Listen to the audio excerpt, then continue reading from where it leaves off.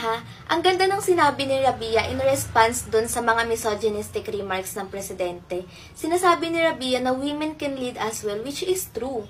Kahit yung inaatake sa kanya yung about sa emotion, it makes sense kasi totoo naman na nagmamatter din ang emotional quotient sa paglilid, hindi lang puro intelligence quotient. Hindi ko magets kung bakit warla na warla si Cham.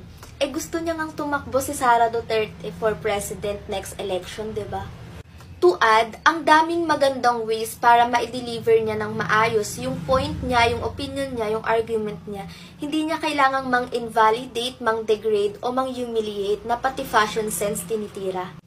Tsaka 'di ba dapat pag magsasalita ka about controversial or political issues, dapat willing ka ring makinig sa sasabihin ng iba o ma-educate. Hindi yung naka-turn off lahat ng avenues na pwede kang ma-replyan. Dating kasi nun, hindi ka marunong makinig.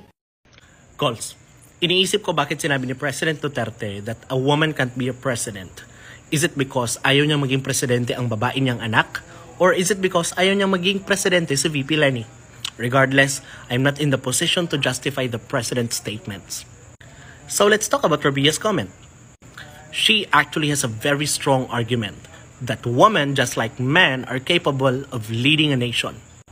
Just like the Philippines, we already had two women presidents.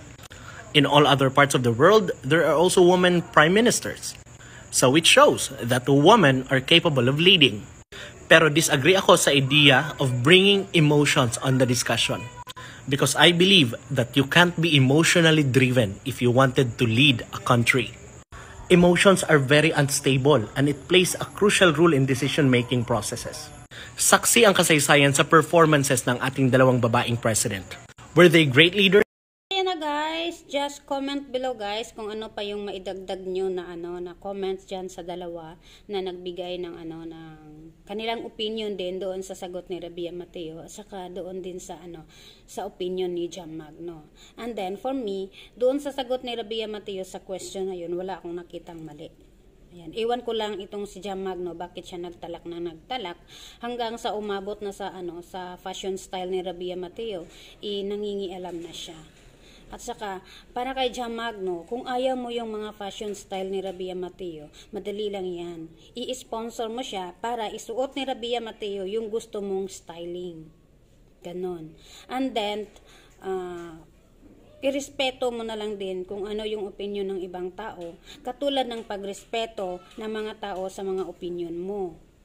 Ganon. And then, for me is, uh, respect uh, other uh, political views. Yun lang sa akin. And then, basta yun. And then, for Rabia Mateo, I salute you, Rabia Mateo, dahil nga, ano, ipinaglaban mo yung karapatan ng mga kababaihan. And that is the advocacy of uh, Miss Universe. So, ayan na guys. Thank you guys for watching. And see you on my next vlog. Bye everyone. God bless you sa iyo, Cham Magno.